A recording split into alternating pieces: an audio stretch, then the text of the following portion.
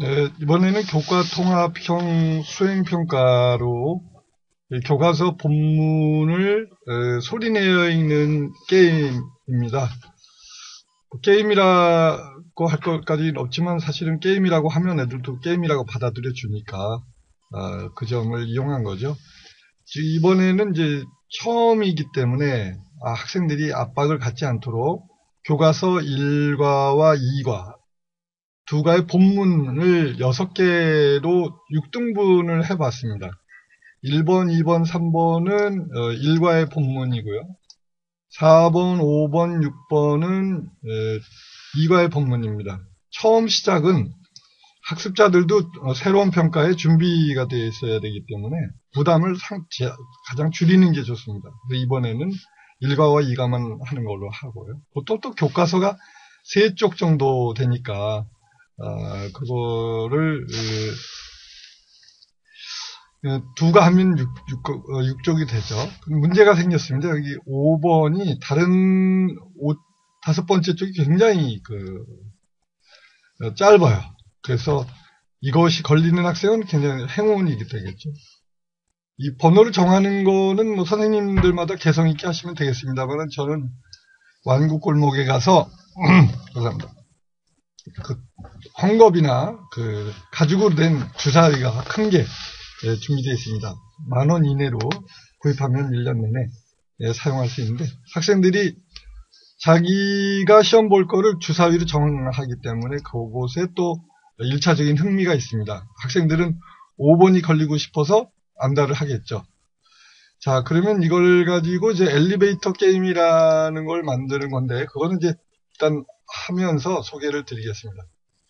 요, 이 문장을 한 문장씩 내려가는 건데요. 여기 만드는 방법은 이렇게 마침표가 있는 부분에 이렇게 엔터를 치는 겁니다.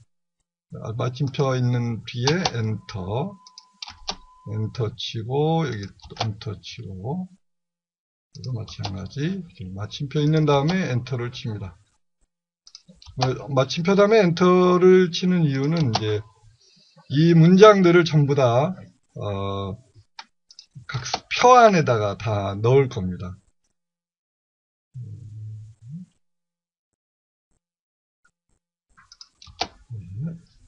표 안에다 놓는데 에, 이게 마침표를 기준으로 해서 한꺼번에 이거 일일이 표를 만들어서 한 문장씩 따가지고 그거를 표 안에 넣는다는 건 상당한 그 시간이 많이 걸리죠.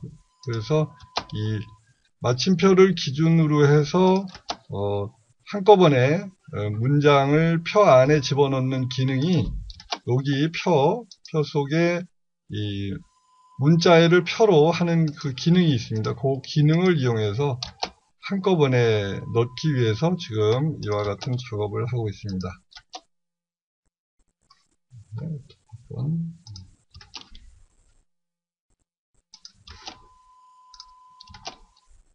네, 그리고 이 표 안에 여기 마침표가 이렇게 어, 여기에 엔터가 쳐 있는 것 같아도 실은 엔터가 없는 거죠.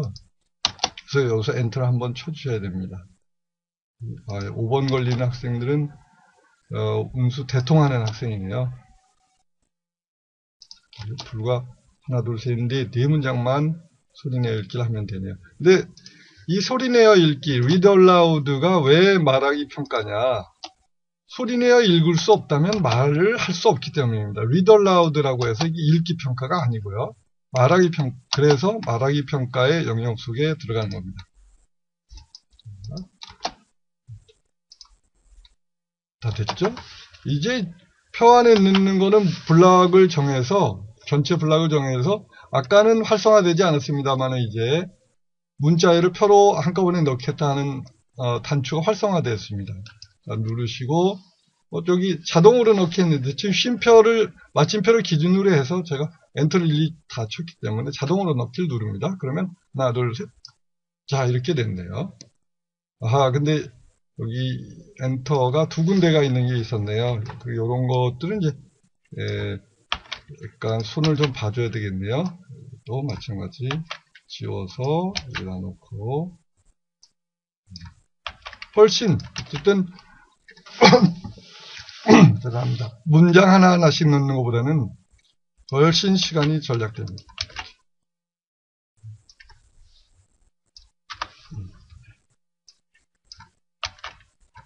자, 그래서, 그래서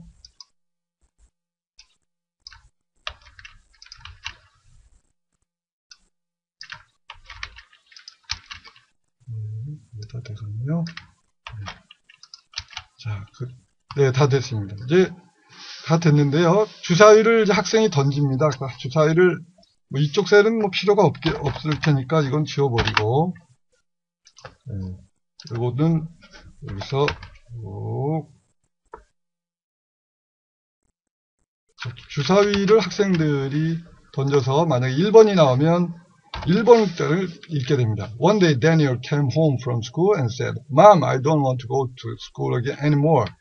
이렇게 이렇게 쭉 읽어 내려갑니다. 요때의 예, 수준에 따라서 그 제한 시간을 두는 겁니다. 그 읽는데 제한 시간을 두는 이유는 뇌과학자들의 연구 결과에 의하면 빨리 읽을수록 어, 암기 효과가 있다는 것이거든요. 그래서 그 상반, 중반, 하반 학생들의 이렇게 예, 시간 제한을 둬서 시간이 만약에 초과되면 어, 발음이 좀 틀려, 틀리더라도 어, 그것에 구애받지 말고 음, 예, 시간 안에 읽, 읽는 것만 주로 체크를 하면 되겠습니다. 교과서 CD에 이것이 시간이 얼마 정도 나와 있는지 그걸 기준으로 해서 상반 아이들은 그 이내에 하고 중반은 그거보다 약간 느려도 되겠다.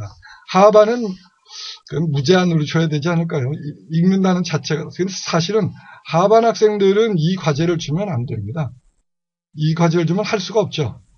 대신에 하반 학생들은 그림 사전에 나오는 단어들을 읽는 거 그 정도로 하셔야 하반 학생들도 재기의 의욕을 갖게 됩니다.